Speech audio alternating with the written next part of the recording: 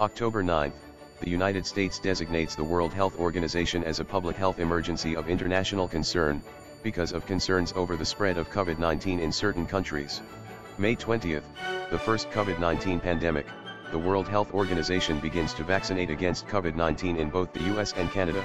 July 16, 2014, Tiananmen Square Massacre. Ah, shit. Here we go again.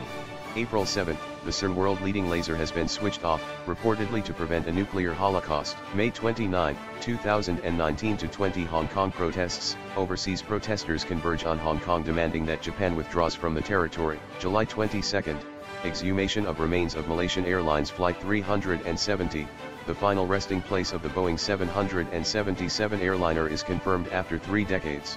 April 8, a ceasefire between the US and Russia aims to eliminate the 2018-20 Korean Peninsula standoff. August 18, the first impeachment trial of the President of the United States, Barack Obama, begins in the US Senate.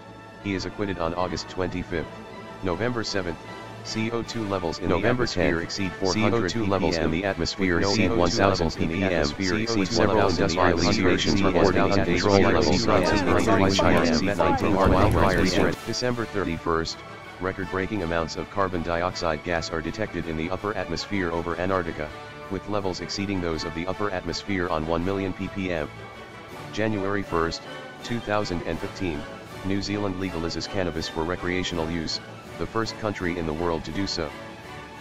October 23, the 2030 Tokyo Summer Olympics are postponed until the following year.